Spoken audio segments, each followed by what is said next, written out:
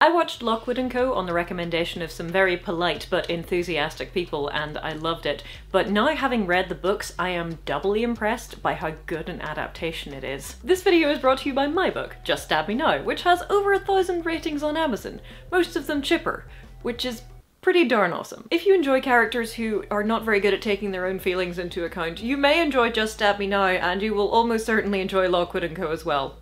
I'm just saying. Back at the end of October, I reviewed a couple of the sword fights in the Lockwood & Co series, and off the back of that I asked for the books for Christmas, and I read the first two, which roughly coincide with the first series, in about three days flat. And then I started reading the third one and just fell off for some reason. My life has been madness. I published a book, I moved house, I have basically been a construction site project manager ever since. But a couple of days ago I was finally able to pick up the third one again and finish it and I raced through four and five basically in two days. I had said in the original video that the Golden Blade isn't in the books, but that's not true. He isn't called that, but he's very clearly an adaptation of one of the characters from the book series. So that was neat. Lockwood & Co. is based in a world where ghosts are very real and can very really kill you.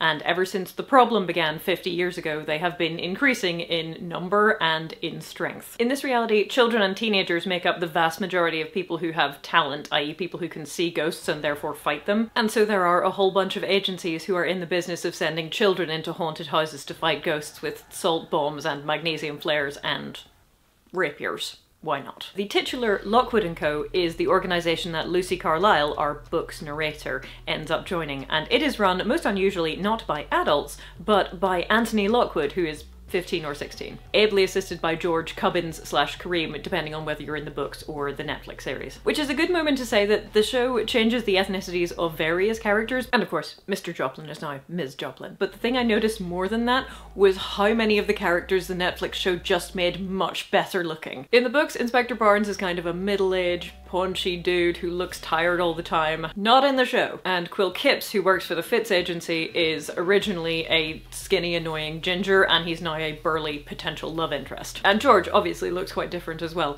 But Lucy and Lockwood are both pretty much exactly as described in the books. Though it has to be said, Lucy, as the narrator, does not spend a lot of time describing herself. And the main trio's mannerisms and personalities are all absolutely spot on. And when I was reading the books, I was really struck by how good an adaptation the series was and how well they cast those characters. Which makes it even more sickening that Netflix cancelled it after one season because of course they did. They made a number of changes to adapt it from a 7 to 12 plus book series to a show. They aged up the characters by a year or two, maybe? They take out all the references to the fact that George's backside hangs out of his trousers a lot and that it puts people off their food, which was a good move, honestly, because what is hysterically funny to an eight-year-old in a book is like a safeguarding issue waiting to happen in a TV series. I know that all of the characters are played by actors who are adults, but still it's kind of skeevy. It would have been kind of skeevy. And to be honest, the lack of sexualization of the teenage characters is really nice. I would say it's refreshing, but I don't know if it's actually refreshing because I don't watch a lot of television.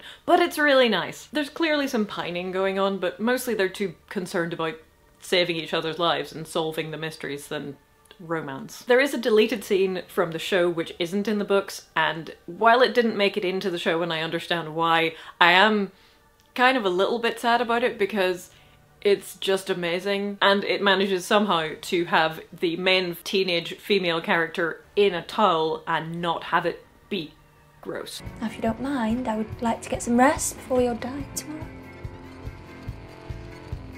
Sorry, um, nice pyjamas. Thanks. Nice towel. Uh, would you mind take just Yeah, yeah, because yeah, I'm yeah. Yeah. What?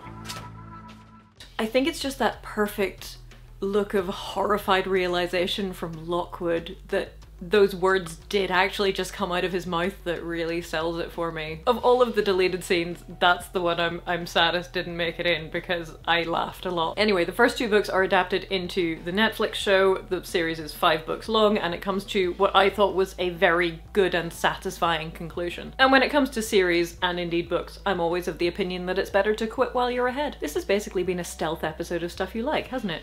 Amazing. Okay, highly recommend the books if you like the series. I highly recommend the series in general, and if you would like to watch my review of the fights, there is probably something next to my face right now which you can click to get there. Welcome to my new house, which is actually quite old. Look out for a video on the 1940 version of The Mark of Zorro very soon. Thank you to everyone who has bought my book so far, and I'll see you soon.